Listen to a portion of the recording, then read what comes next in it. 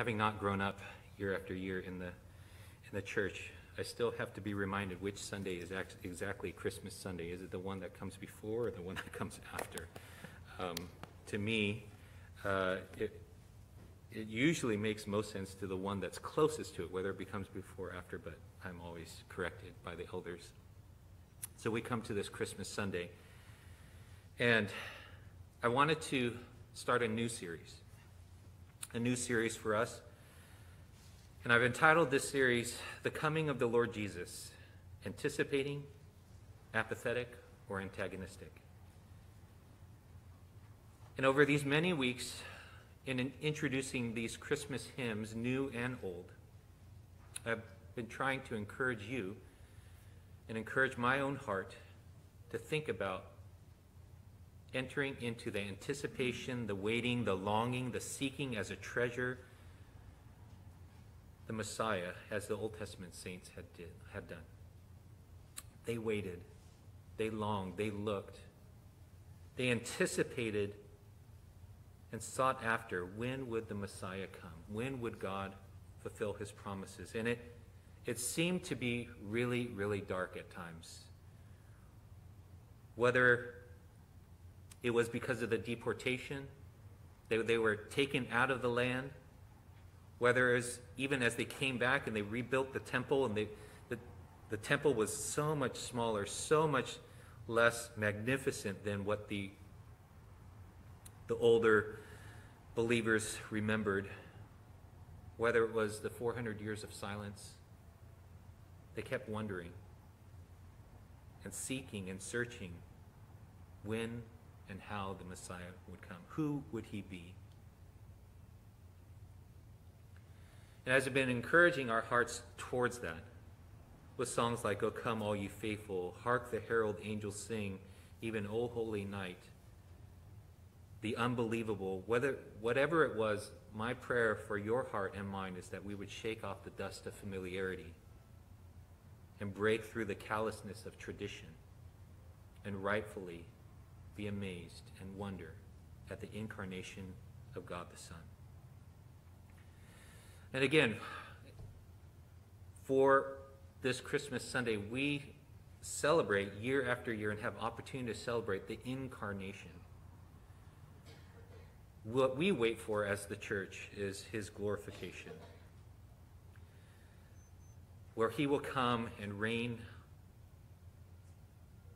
on the throne of David in the city of Jerusalem. And what we should all be praying about is to have this Old Testament heart of seeking as a treasure, waiting for and longing for God and his Messiah to come again.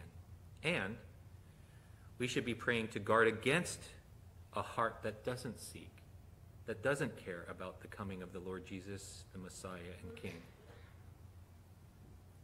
We should pray that God would work in our hearts to soften it to ache and long and anticipate the coming of Christ. And we should pray against any hardness, any callousness, any apathy, and any antagonism that we might have at his coming.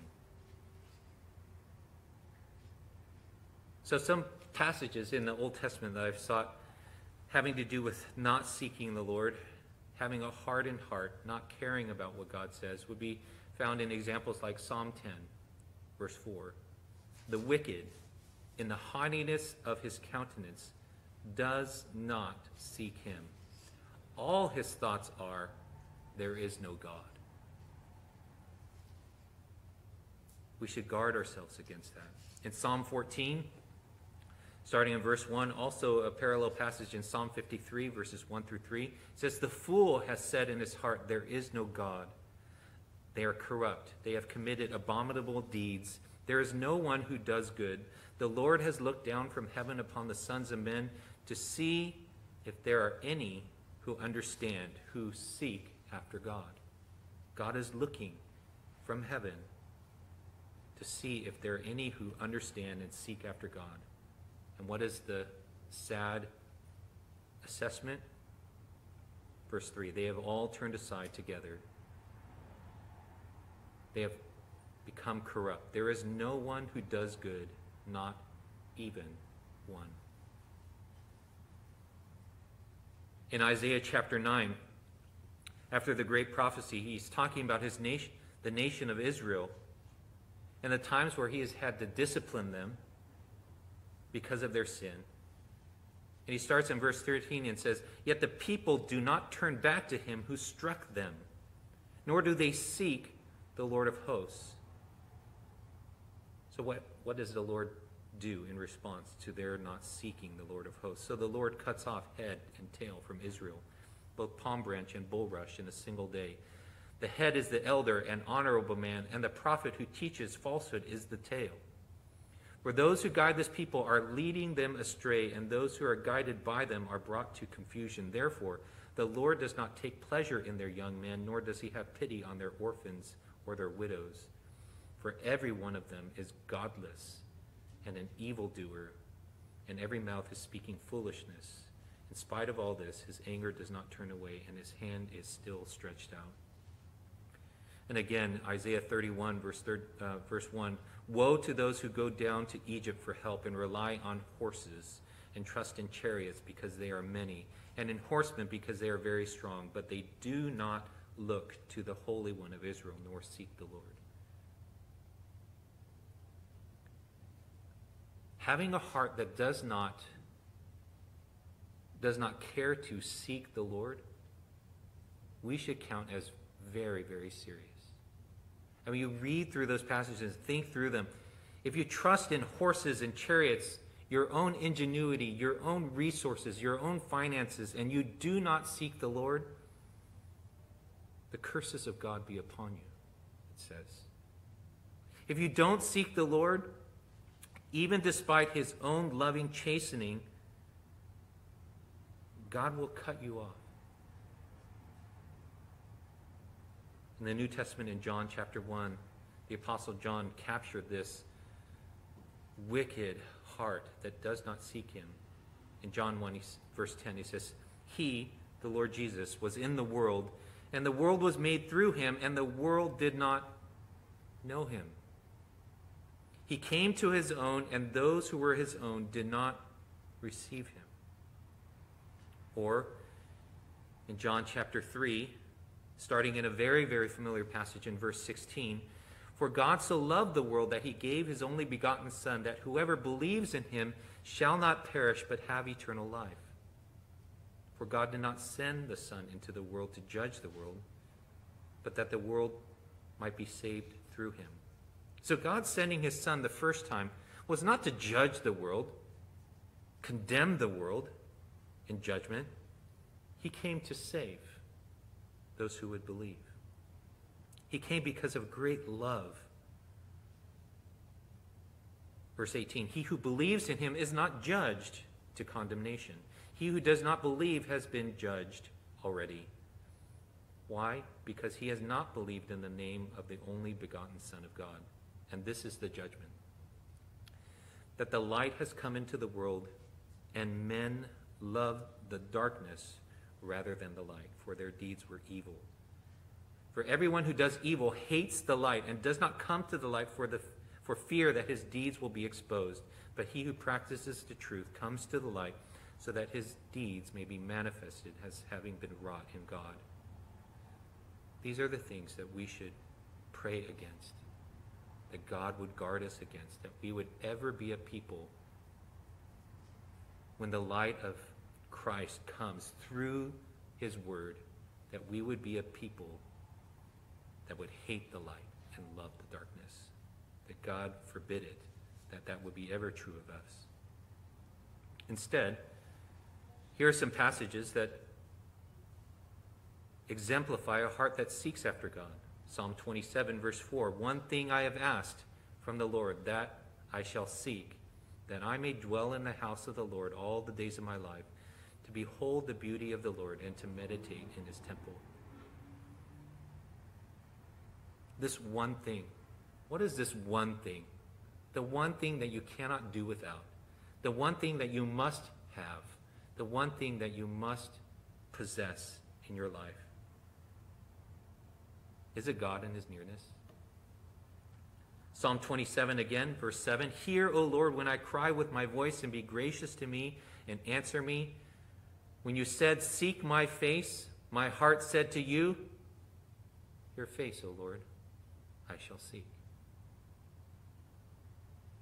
Or Psalm 63, starting in verse 1 O God, you are my God. I shall seek you earnestly. My soul thirsts for you. My flesh yearns for you in a dry and weary land where there is no water. Or Psalm 119, verse 2 How blessed are those who observe his testimonies, who seek him with all their heart. We ought to be a people who seek after God. Very much like the faithful Old Testament saints did when they waited for the Messiah to come. In terms of James, which we have been studying and meditating through recently, I have prayed for my heart as I have prayed for yours, that you would be eager and quick to listen to God's word about the incarnation of Christ. That you would be slow to speak against or speak despisingly or belittlingly about the truths of the incarnation of Christ. And finally, that you would be slow to be angry or resistant to the truths of the incarnation of Christ. Now, hearing that, you might say, What? This is, this is Christmas Sunday. Who doesn't like Christmas? How can I despise and belittle the truths of the incarnation? Or how in the wide world would I ever be angry because of or resist the truths of the incarnation? Well, let's stop and think about those who found themselves at the first Christmas. And as a side note, you know, hopefully, you know, that the Lord Jesus was not born in December, right? This is just a time where it's been decided that we will, we will uh, uh, remember and celebrate the coming of the Lord Jesus. It would have been too cold, way too cold in December for him to be born in a cattle stall. It would have been way too cold for the shepherds to be out watching their sheep at night. But having said that, as far as despising and belittling, belittling the truths of the incarnation,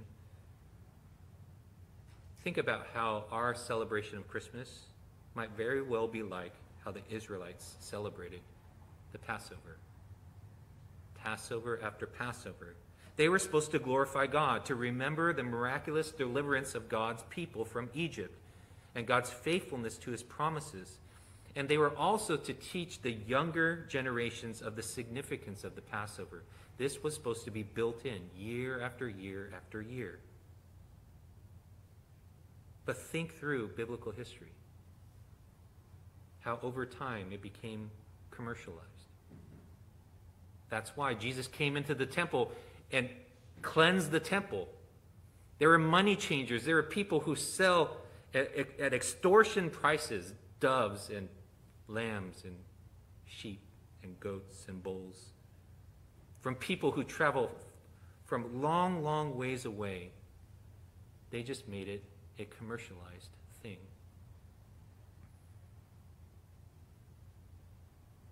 It was no longer about coming to the house of God to pray and to seek the Lord and to wait upon Him. Over time, the Passover, it was too easy to neglect. Ah, it's so far. Too much effort. Over time, it was just about being freed from Egypt's oppression, freed from slavery, as opposed to celebrating the triumph of the God of Abraham, Isaac, and Jacob over the gods of the most powerful empire at the time Egypt. Over time, the Passover became just about family togetherness as opposed to celebrating God's faithfulness. Over time, it just came to be about the religious motions, even. Just go through the religious motions, but their heart was far from God. Isn't that, sadly, a little close to home and how we might celebrate Christmas? Think of how they despised the incarnation.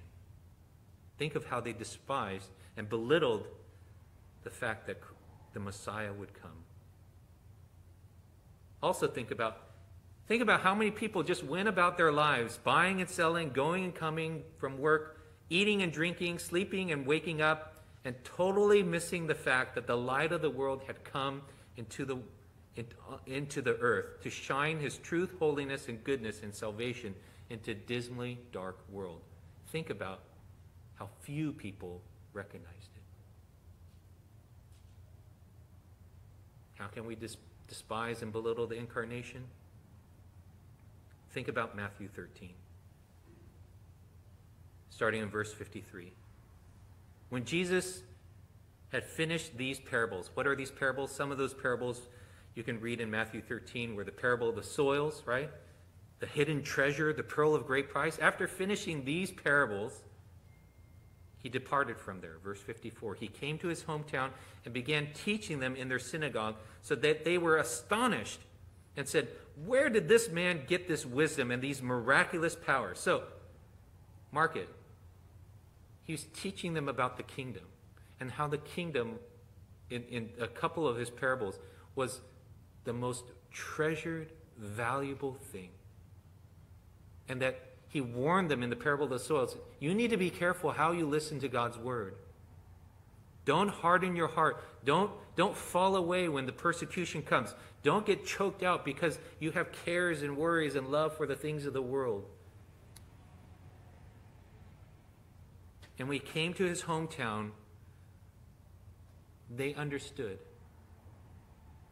the Lord Jesus, or this Jesus, could teach like no other.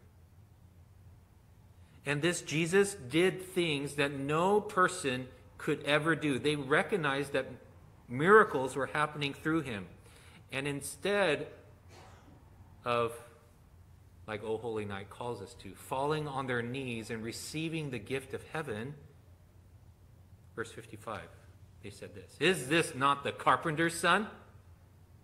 Is not his mother called Mary and his brothers James and Joseph and Simon and Judas and his sisters? Aren't they, are they not all with us? Where then did this man get all these things? And they took offense at him. But Jesus said to them, A prophet is not without honor except in his own town and in his own household. And he did not do many miracles there because of their unbelief.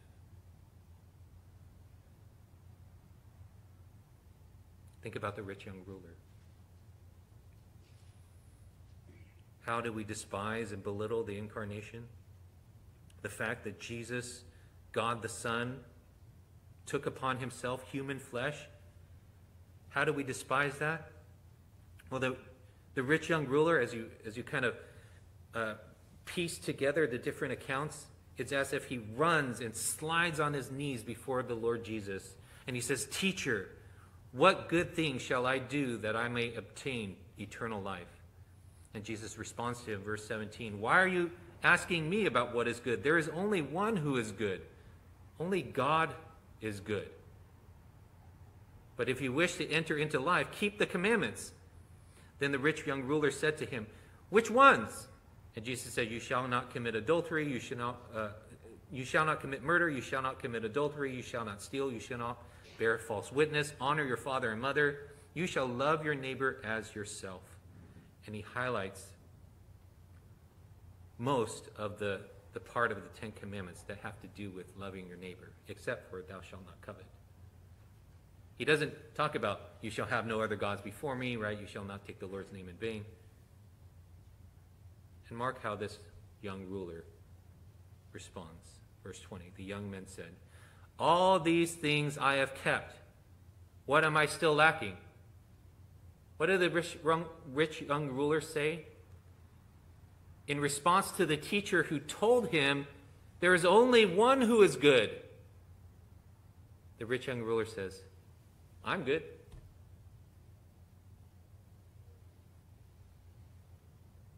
Jesus said to him, verse 21, If you wish to be complete, go and sell your possessions and give to the poor and mark it.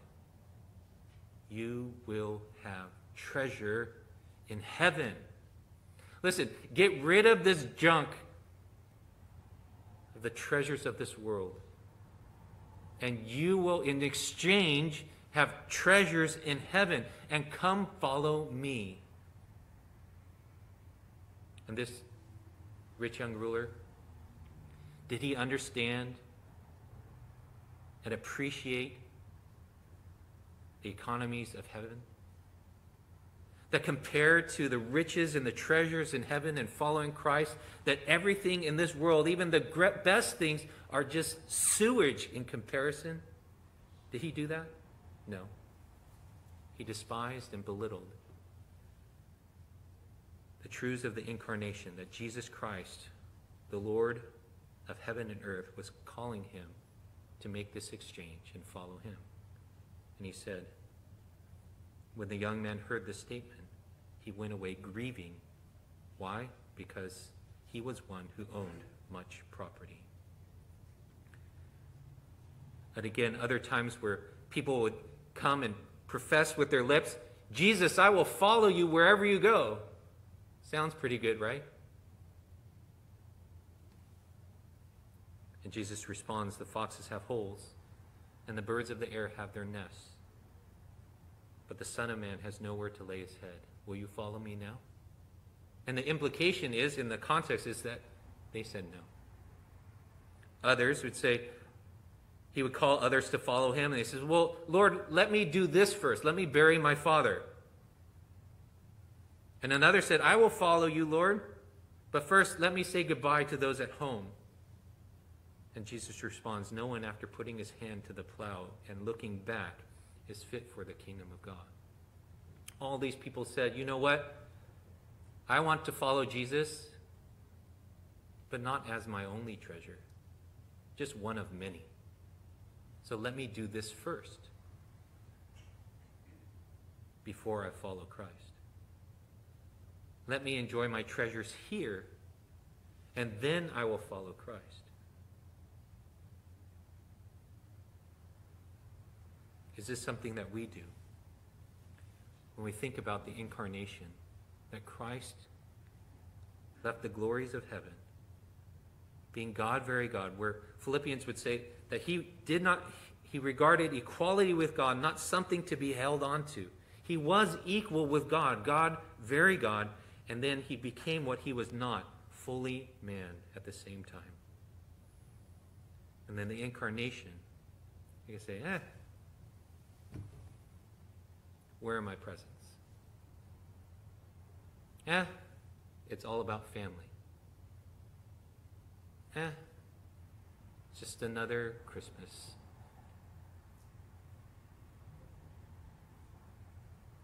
Instead of being struck with wonder and awe again, that God would condescend himself and be made in the likeness of men and be found in appearance as a man. How about being angry and resisting the truths of the incarnation?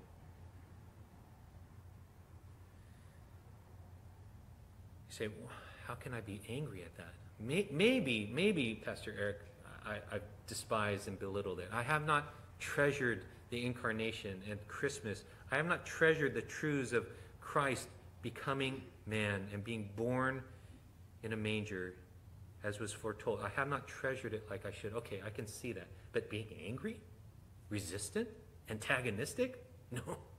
How can that be? Well, think about when the Lord Jesus came to earth. He was, according to the promise of Isaiah 9, it says this For a child will be born to us, a son will be given to us and the government will rest on his shoulders, and his name will be called Wonderful Counselor, Mighty God, Father of Eternity, Prince of Peace. When Jesus was born, right? He, he was born as a child. A child will be born to us, a son will be given to us. But this son, at the same time that, that as, as he was born, he was born mighty God. That's his name. That's who he is. And Father of eternity. I know it says eternal Father, and that might be hard to, um, to reconcile. I thought he was the Son. How can he be the Father? He, he is the Father of eternity. So, born, though born in time, he is the source of timelessness.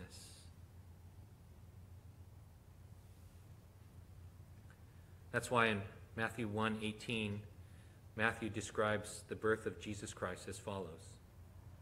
When his Mary, his excuse me, when his mother Mary had betrothed, been betrothed to Joseph, before they came together, she was found to be with child by the Holy Spirit. And Joseph, her husband, being a righteous man and not wanting to disgrace her, planned to send her away secretly. But when he had considered this, behold, an angel of the Lord appeared to him in a dream, saying, Joseph, son of David, do not be afraid to take Mary as your wife, for the child who has been conceived in her is of the Holy Spirit. She will bear a son, and you shall call his name Yahweh saves his people. Jesus. Yahweh saves. And this explanation is given. You shall call his name Yahweh saves. Why? Because he will save his people from their sins. Now, there are many people who were named Jesus at the time Yeshua, Joshua. There were many people who have been had that namesake, but not a single one except for the Lord Jesus. Not a single one could have said, been said of them. He will save.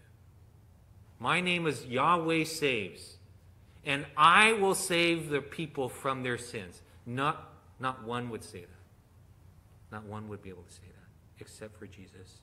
He was God who would save his people from their sins. Now, all this took place to fulfill what was spoken by the Lord through the prophet Behold, the virgin shall be with child and shall bear a son, and they shall call his name Emmanuel, which translated means God with us. What this immediately meant is that Jesus is God and everybody else is not. Jesus is king and everybody is else is not.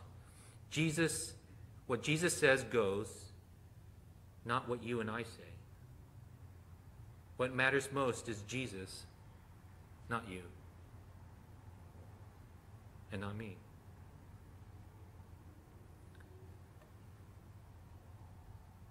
But see, if we stop and think about it, the fact that even when the baby was born, he incited hatred.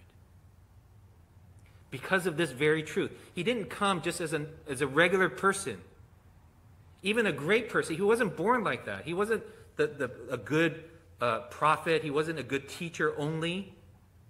He wasn't just a, only a moral example. He was all those things, but so much more. He was God. And because he's God, that means no one else is. And whatever he says goes, that he is king, and you and I are not. See, Herod understood this. King Herod. He was not of the kingly line, uh, nor of the Davidic line, but he was appointed as king by the Romans, the ruling empire. And see, he understood when Jesus came, born king of the Jews, he was threatened by a baby.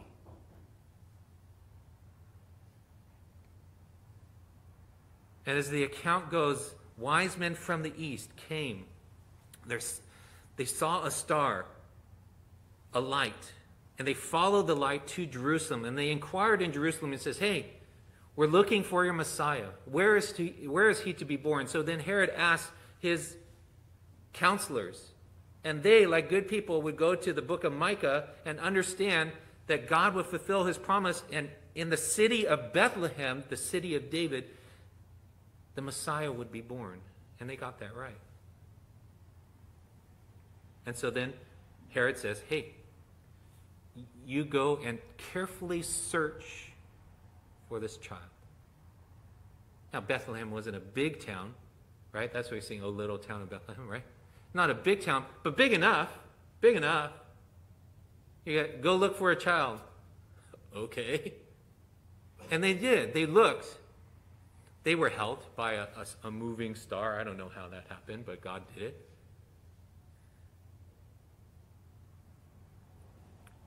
And Herod's mind and his plan, he says, He is about two years old.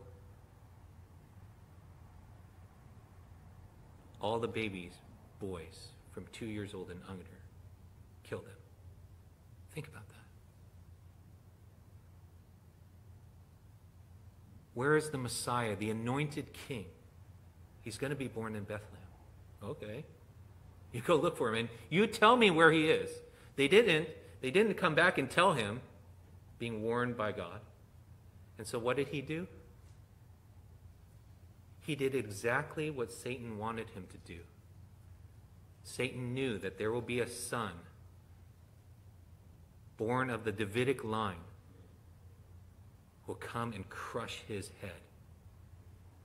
So then what would Satan do? He's not omniscient, right? He doesn't know everything. But how does he respond? Well, then you kill all the baby boys, slaughter them all.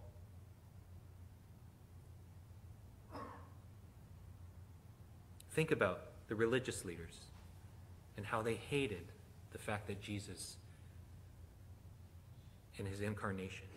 Think about the times they sought to stone him. Think about the times they sought to entrap him and trick him. Think about the times they sought to kill him because the people were hanging on his every word. They sought to kill Jesus because they were jealous. In John chapter 11, after Jesus raised Lazarus from the dead, this is how the, the religious leaders responded raised from the dead. Okay? Therefore, the chief priests and the Pharisees convened a council and were saying, What are we doing? For this man is performing many signs. And if we let him go on like this, all men will believe in him, and the Romans will come and take away both our place and our nation. So, skipping down to verse 53, so from that day on, they planned together to kill him. They couldn't deny that Jesus was performing miracles. They couldn't deny that Lazarus, who was dead, was raised to life. They could not deny that. But did they bow? No. Did they love it? That the incarnated Christ was there? No, they hated it. Why? Because they could not get what they wanted. What they wanted was not going to happen if Jesus was God. After the triumphal entry, you know, all the people of, of Jerusalem, they were seeing the Messiah approach and they were shouting, Glory to God, Hosanna, Hosanna, peace in heaven and glory in the highest. And the Pharisees, did they join in? No. Did they see that Scripture was fulfilling itself when Jesus, the Messiah, ride, rode in on the foal of a donkey? What did they say? Teacher, rebuke your disciples. Stop this. Stop this. And Jesus responds, If I, I tell you, if these become silent, the stones will cry out. And when I had a chance to go to Israel, a, a sweet, dear uh, lady, sister in Christ, said, uh, remarking about how many stones there were. wow, that would have been loud. If the people stopped praising, there's so many stones, it would have been such loud praise. And how did they respond? After the triumphal entry, it says, the Pharisees said to one another after that time, You see that you are not doing any good. Look, the world has gone after him. Even Pilate, I found this really interesting. You know, that the time where the, the governor Pilate, not a Jew, part of the Roman Empire, and part of the, the, the, the time was he would release one of the Jewish prisoners. He says, Hey, do you want me to release Jesus?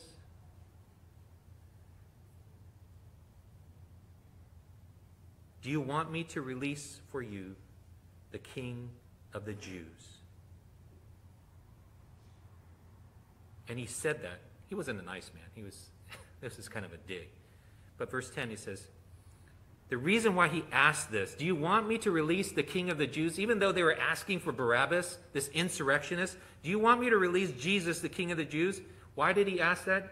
Verse 10 For he was aware that the chief priests had handed him over because of envy.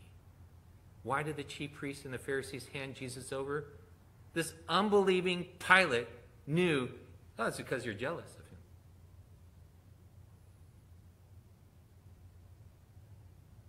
Listen, these examples that I'm bringing out of those who despise and belittle the incarnation, those who hated the incarnation, that God would help us that we would not respond the same.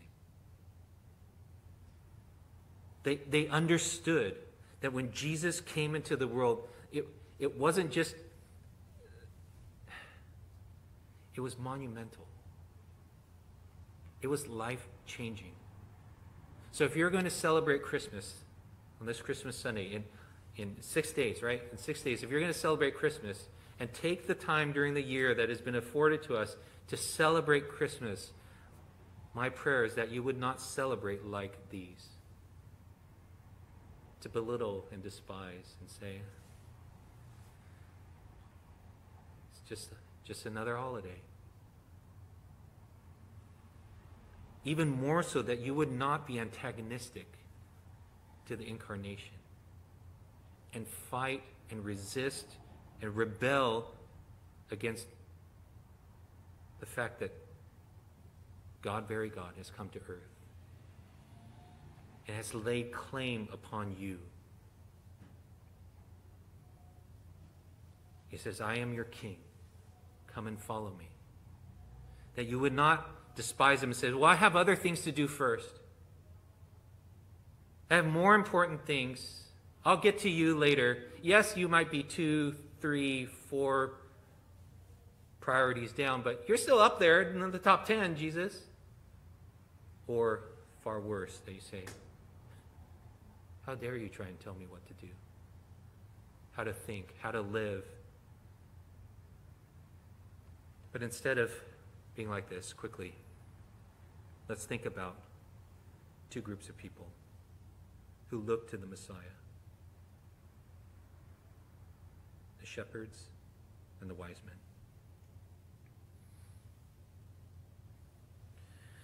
the shepherds in Luke chapter 1. They were out watching their flocks by night, and suddenly, after 400 years of silence to them, and the angels came. Uh, sorry, Luke chapter 2.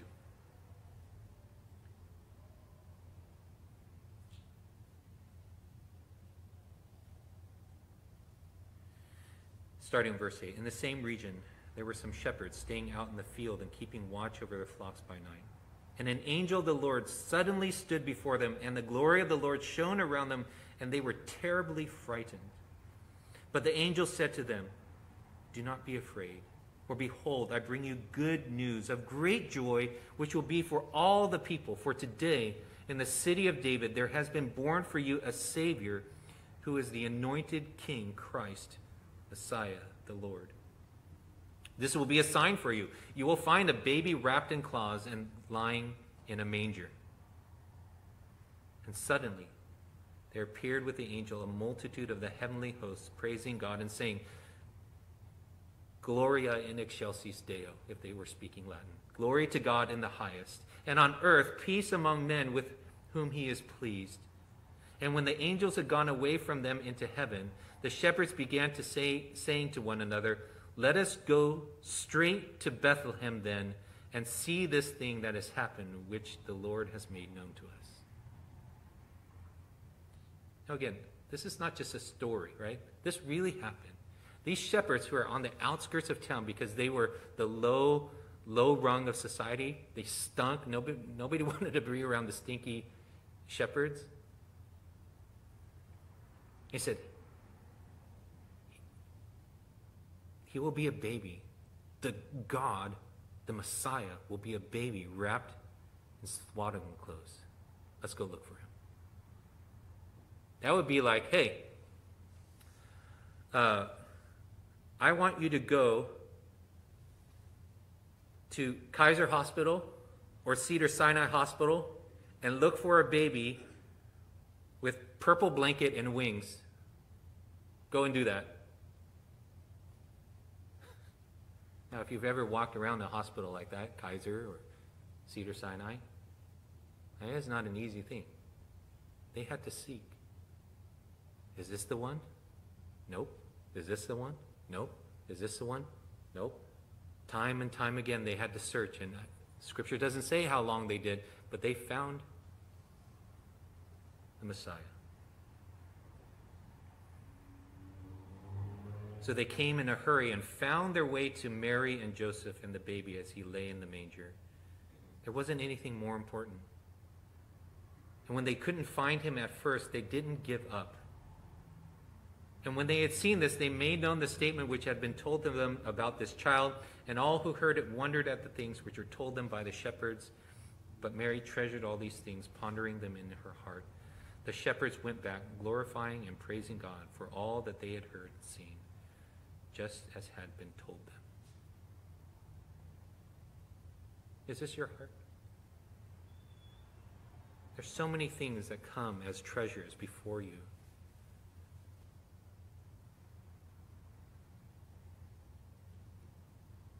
Do you seek after Christ, the only treasure? Are you seeking for Him such that when these other treasures come, He's like, nope, not it. Nope, not it. Nope, not it. This is not the Messiah.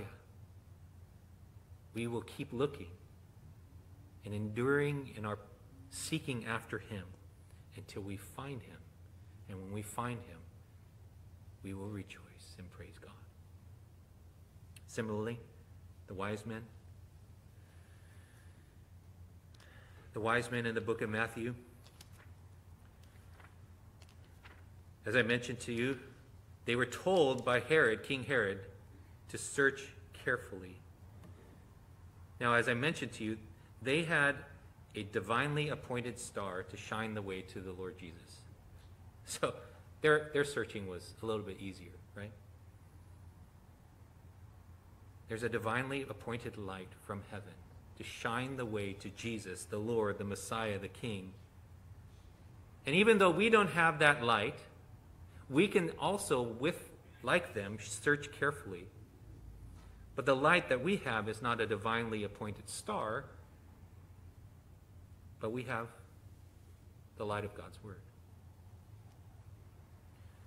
Psalm 119, verse 105 says, Your word is a lamp to my feet and a light to my path. In Philippians 2, it says, Do all things without grumbling or disputing, so that you will prove yourselves to be blameless and innocent children of God above reproach, and in, in the midst of a crooked and perverse generation, among whom you appear as lights in the world. How do you appear as lights? Well, you don't grumble, you don't, um, you don't dispute with God and at the same time, you are holding fast the word of life. Now, this all is an introduction to the series of what I entitled The Coming of the Lord Jesus. Are you anticipating? Are you apathetic? Or are you antagonistic? Because if I, as I kept thinking about what passage should we go through, what passage, so that we can enter in all the more to be ready for the coming of the Lord Jesus, like the Old Testament saints, it dawned on me God has given us that passage. And for the, the coming weeks in the next series, as we're thinking about the being ready for the coming of the Lord Jesus, I want us to go through the seven letters to the churches into the book of Revelation. Because you think about it. Jesus, the glorified one who has eyes of flaming fire, hair like white wool, feet like burnished bronze, his face shone brighter than the sun, who walks among the lampstands, his church. And he writes a message to the church as they're supposed to be what? Waiting for his coming think it would be very, very instructive and needful for us to take heed and listen to the letters to the seven churches in Asia Minor. And that's why God gave it to us. Well, I'll show you that when we get there. But this is an introduction. Are you ready for the coming of the Lord Jesus? If you're ready rightly, then you'll be anticipating his coming. That he is God and you are not. That he is the king and you are not. He came to save people from their sins. He came to save you from their sin, your sins. Have you come to submit to that or are you fighting? Now, I recognize on a Christmas Sunday like this, some people only come during Christmas time. Is this just another thing that you do? Or are you anticipating the Lord Jesus, who's come and will come again? Or, and I hope this is not true of you, are you apathetic? Or are you antagonistic? My hope is that we would learn to love the Lord Jesus more and more. So let's pray together. Let's pray. And then we'll be dismissed. Father, again, as we just, in one sense, had a long devotion, meditation, to consider where our hearts are in light of not only your Son's first coming, but his coming again. I pray that you would help us to be found faithful, longing, waiting, treasuring, seeking after him, not dull hearted, not callous, not apathetic, not even antagonistic. That we would love that the Lord Jesus would reign not only in our hearts, but in every heart who would believe. That his kingdom would come and his will would be done on earth as it is in heaven. Help us, we pray. I pray for those who don't know you, might have visited or visiting online. I pray that you would draw them to yourself. Pray that you would help them to honestly assess themselves in light of your word and the truths that they have heard. And they will recognize that the Lord Jesus, who calls out to them,